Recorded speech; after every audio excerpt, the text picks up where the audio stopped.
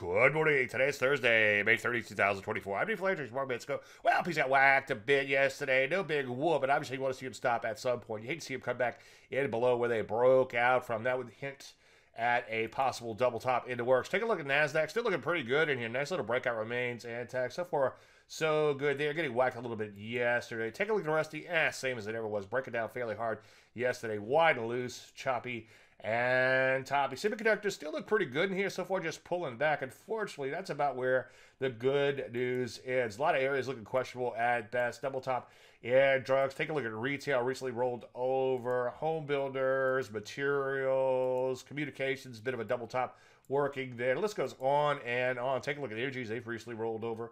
And here, financials, double top so far rolling over. Healthcare, eh, not so pretty there. The list goes on and on. There's software, as you can see, We need to break down from a topping formation. So we do well in light of this bad breadth. Now might be a good time to sit on your hands a little bit and let things shake out. Any questions, as usual, Dave, DaveLandry.com. I'm Dave Landry, and you start the market in a minute.